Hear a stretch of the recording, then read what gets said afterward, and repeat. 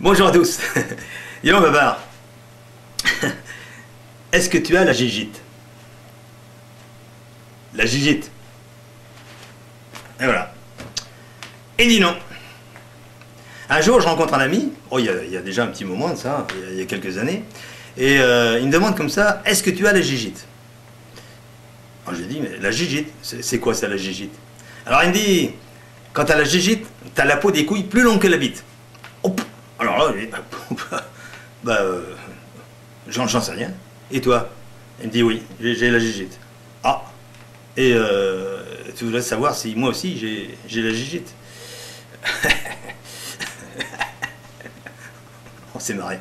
Et euh, donc, effectivement, on a regardé, quoi. Et ben, il s'est avéré que moi aussi, j'avais la gigite.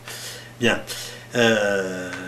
Actuellement, en France, il fait entre 20 et 30 degrés, on est en été, il fait chaud, d'accord On n'est pas en hiver, d'accord Et on est en juillet, on est à la Sainte-Brigitte, et nous, gente masculine, à la Sainte-Brigitte, eh ben, euh, on risque pas d'avoir la gigite.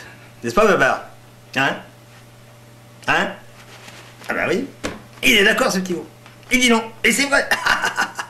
la Sainte-Brigitte, nous, gente masculine, on n'a pas la gigite.